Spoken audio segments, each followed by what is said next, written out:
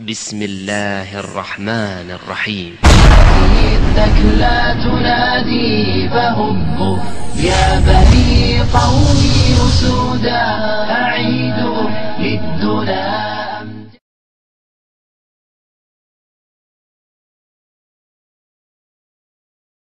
Many Muslims claim that God revealed scientific facts in the Quran long before modern science discovered them. Here are the main ones. Number one, the Quran describes the fertilization process and embryonic growth before it was known about. This is false. The writings of Aristotle, Hippocrates, Galen, and others describes these things long before the Quran. The point to be noted, just because someone says some things which are matching with the Quran, that doesn't mean that Quran has been copied from that. Suppose I make a statement, suppose, if I make a statement which is correct, which was said by somebody else earlier, that doesn't mean I've copied. It may be, it may not be. To use the conflict approach to the Quran, yes, he copied. Okay, fine. But let's analyze, the Quran doesn't take the things which were wrong from Hippocrates. If you would have copied, you would have copied everything. It is logical. Unless he is a scientist, okay, this is correct. Oh, this is wrong. I won't copy that. This is correct. I'll copy that. All the stages of Hippocrates and Galen is not the same as the Quran. Hippocrates and Galen doesn't speak about leech-like substance. They don't speak about mudga at all. Where do they speak? Hippocrates and Galen at that time they said that even the women have got semen. Who says that? Even the Bible says that.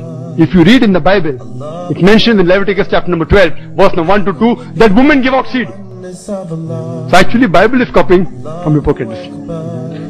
And Bible says in Job, Bible says in Job, chapter number 10, verse number 9 and 10, that we have made the human being from clay, like poured out milk and curdled cheese. Poured out milk and curdled cheese is exact plagiarization from Hippocrates. Why plagiarization? Because surely that's not the word of God. That portion is unscientific. It was said by Hippocrates and Galen, the Greeks, that human beings are created like curdled cheese. And Bible copies that exactly.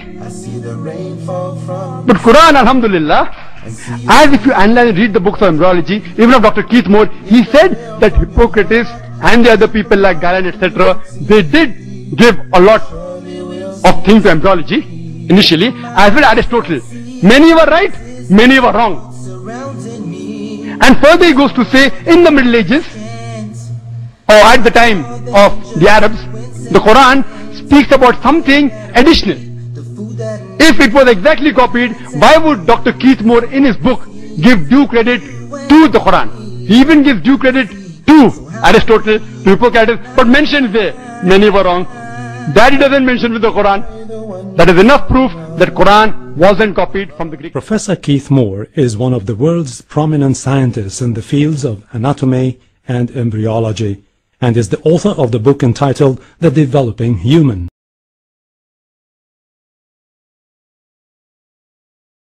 which has been translated into eight languages. The book is considered a scientific reference work and was chosen by the Special Committee in the United States as the best book authorized by one person. Little was known about the staging and classification of human embryos until the 20th century. For this reason, the descriptions of the human embryo in the Quran cannot be based on scientific knowledge in the 7th, 7th century. The only reasonable conclusion is that these descriptions were revealed to Muhammad from God, from God, from God, from God, from God, from God.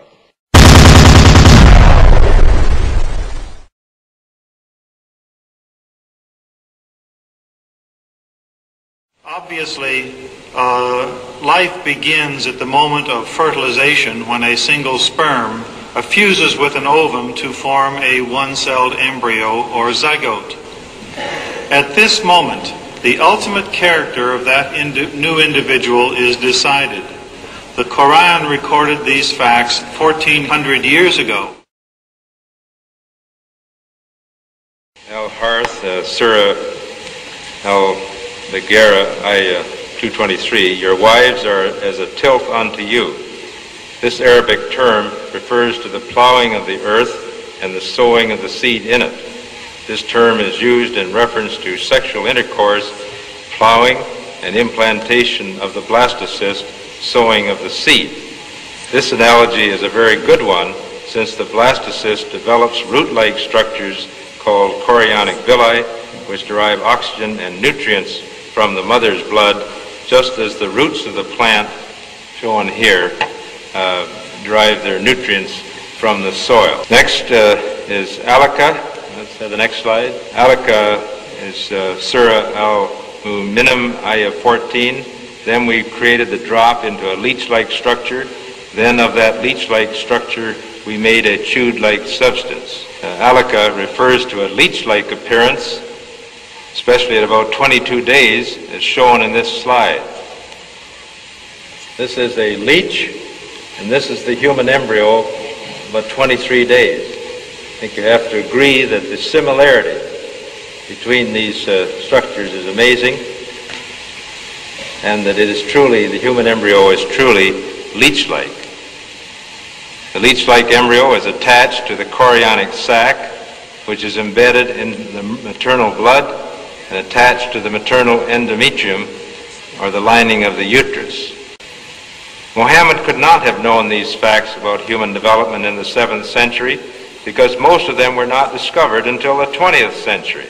Muslims and others are justified in concluding that these facts could only have been revealed to Muhammad by the one known who knows all about us, not only about how we developed, but how we live and function. The Quran on Embryology Dr. T.V. N. Persaud Dr. T.V. N. Persaud is Professor of Anatomy, Professor of Pediatrics and Child Health, and Professor of Obstetrics, Gynecology, and Reproductive Sciences at the University of Manitoba in Winnipeg, Manitoba, Canada.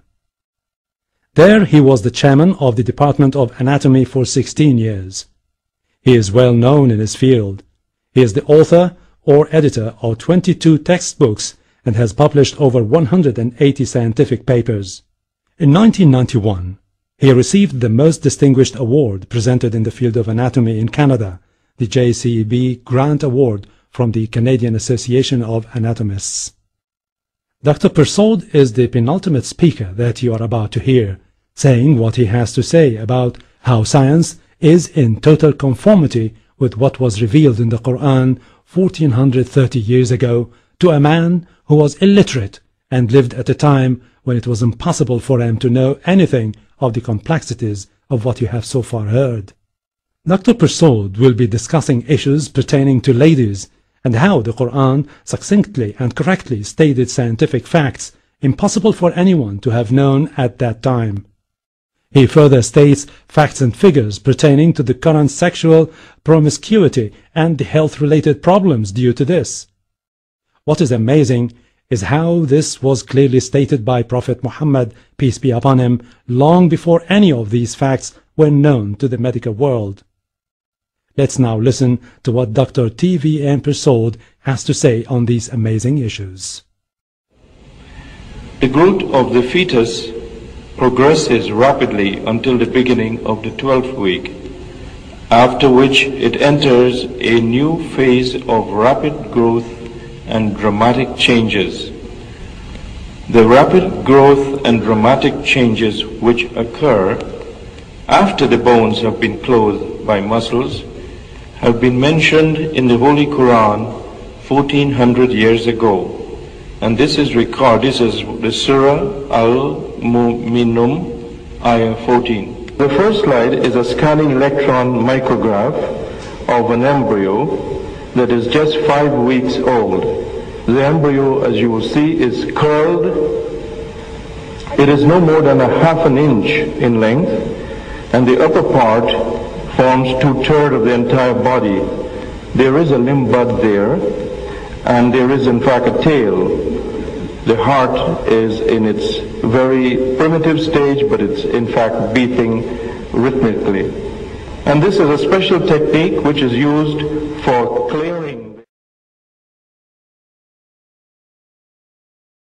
That some of the information we have seen based on the Quran were not known to us until the discovery of electronic microscopes, not just the microscopes of the 17th century, electronic microscopes. And to speculate that Prophet Muhammad, peace be upon him, must have learned that from someone else or discovered it is tantamount to assuming that somewhere in the desert of Mecca, under one of the tents, the Prophet ﷺ was hiding an electronic microscope and nobody was able to discover that at all. None. Not his wife, his family, or closest friends. There must be only one logical and scientifically sound answer, not theological. That this Quran, indeed, could have not emanated from any source other than the Creator who knew what we will discover for children.